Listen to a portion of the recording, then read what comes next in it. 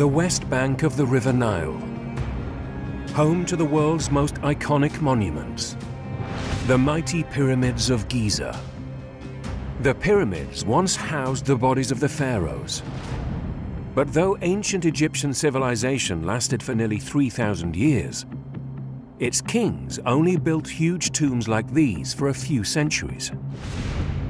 Egyptologists are still trying to piece together why the pharaohs stopped constructing giant pyramids.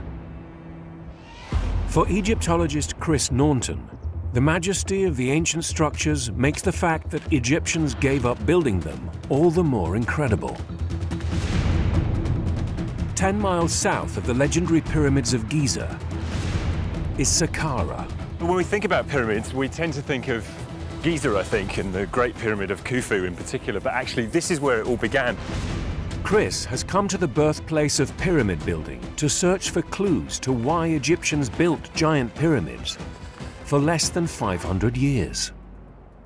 Constructed a century before the iconic pyramids at Giza, Egypt's first pyramid is a 200-foot tall mausoleum of six huge limestone platforms, carefully engineered to spread the weight of rock and prevent collapse.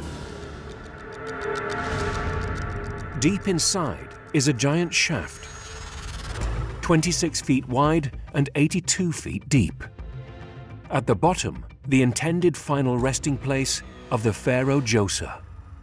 Ultimately, that's what it's all about. That's where the body of the king is going to rest in eternity. And to have gone to all this trouble to create this incredible monument around the body of that person, it's pretty amazing. To house his mummy, huge chunks of granite were slid down a passage into the shaft and stacked, creating a giant sarcophagus 19 feet long and 11 feet high. My God, these pieces are huge. Wow, it's amazing. But this wasn't just a tomb designed to secure the pharaoh's physical body for eternity. Crucially, for success in the afterlife, the pyramid ensured the king was remembered by the living. Completed around 2650 BC, it sparked an architectural revolution. Djoser's six-tiered giant wasn't just the first pyramid. It was the world's first monumental structure built in stone.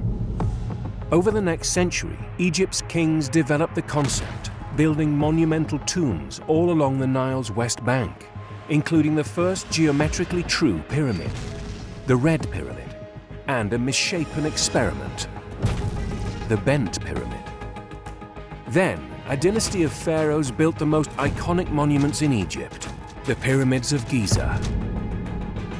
But just a few short centuries after the Great Pyramid of Khufu rose from the desert, a new era was on the horizon.